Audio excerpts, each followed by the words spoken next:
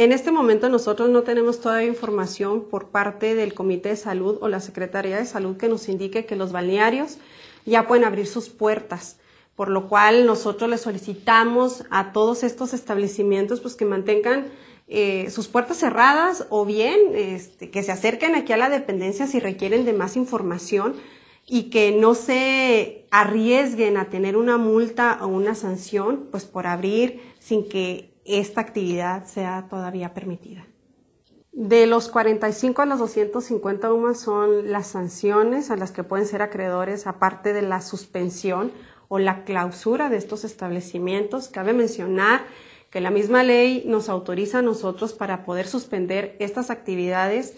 cuando el, entorno así lo requiera. En este caso, pues estamos atravesando, como lo sabemos, por una complicación que es esta pandemia del COVID-19 y pues bueno, hasta que nosotros no tengamos indicaciones por parte de la Secretaría de Salud o el Comité de Salud, no se pueden eh, tener las puertas abiertas de estos establecimientos.